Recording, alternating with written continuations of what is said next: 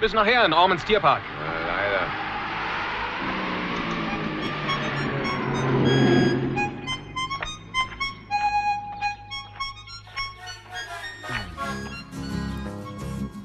Watch out, Mr. Lion, don't bite me. Shut out if you wanna go free. I'm here when you call and I answer you all.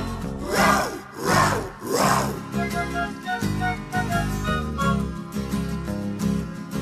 Some people are nice to lions. Some people are nice to hippos. We better think twice. Let's try and be nice. Wow.